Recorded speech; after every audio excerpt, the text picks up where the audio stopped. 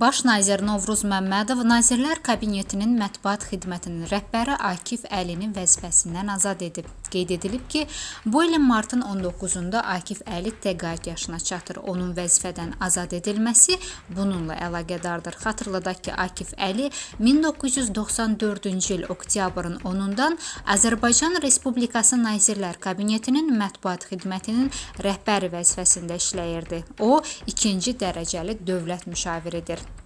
Qeyd edək ki, Akif Əli dahi Azərbaycan alimi Lütfüzadəyə fındıq baş kişi deməsi ilə ölkə mətbuatının gündəminə gəlmişdi və sərt tənqidlərə məruz qalmışdı.